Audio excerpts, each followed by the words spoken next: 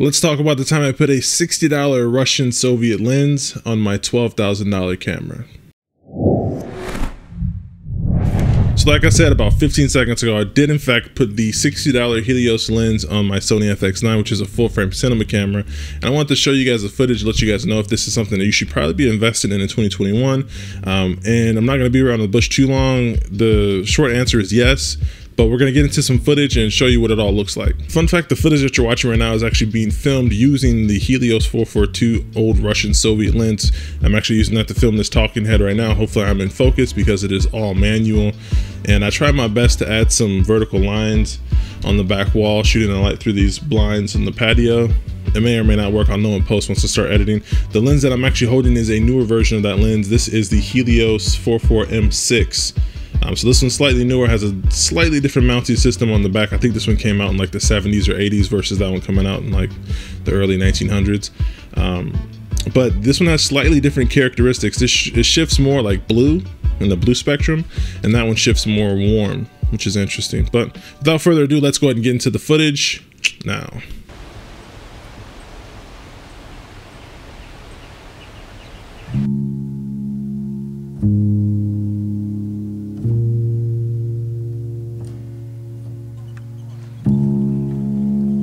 What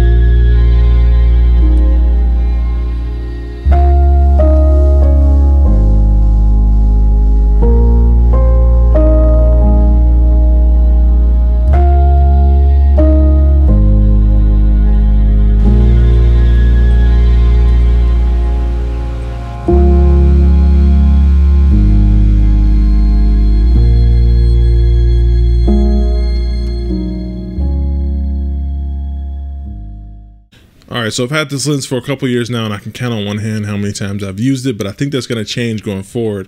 I actually own two of these guys because I was planning on modifying one myself, adding anamorphics and colored flares, but I don't really have the patience for that right now, or ever. This lens will give you the most filmic cinematic look and crazy swirly bokeh for the best price, coming in at around $60 from various eBay sellers. The Helios 58mm is probably the best $60 I've ever spent, more so than any PS4 game I've ever bought. I paired this recently with my FX9 to grab some footage for this video, and I was blown away by the flare characteristics, the bokeh. I couldn't believe that this was collecting dust in my drawer for two years. The cheapest route to getting the Helios is to hop on eBay and pick the seller with the highest rating. You can also buy them cine-modded or rehoused, which is something that I've been considering after using them recently. The best source for buying them rehoused or cine-modded is Iron Glass. They can add anamorphic mods, additional blades for on the bokeh, and also change out your mount for your particular camera. You can also buy an entire kit of these vintage lenses at different focal lengths, all cine-modded for reasonable prices. One of my favorite shows in recent memory is You on Netflix, and not so much for the story or characters, but because of how it looks. Looks. Now, the glass used in the show was a set of Todd AO anamorphic lenses that are so expensive I have not been able to find them for sale, only for rent. I feel like the Helios 58mm has some of the same characteristics as the super expensive anamorphic lenses that they used to film this show.